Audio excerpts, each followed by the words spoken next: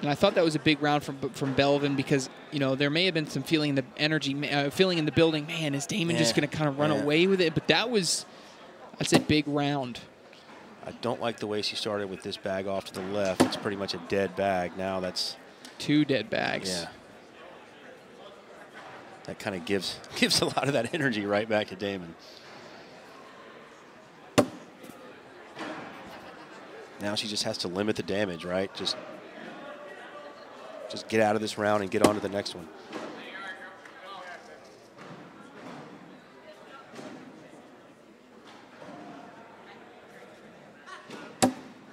And Daymon maybe helps her out a little bit. May, may be the best move to lay in front. I know she doesn't want to do that. I know that goes against her aggressive nature, but it then at least forces Daymon Dennis to have to, hit an airmail. Oh, you wanted this bag to maybe be three, four inches to the left. He's going to try to split him right here, go straight up the middle. If he does this, he'll get six points. He was asking how far he could go out. Just got to have one foot in that mat. Big shot from Dennis. And he gets it.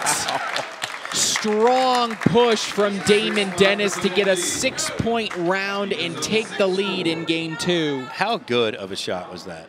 I mean, look at that. That is precision, Bernie. That is that. You know what that is, Trey? That is That's professional cornhole, as you like to say.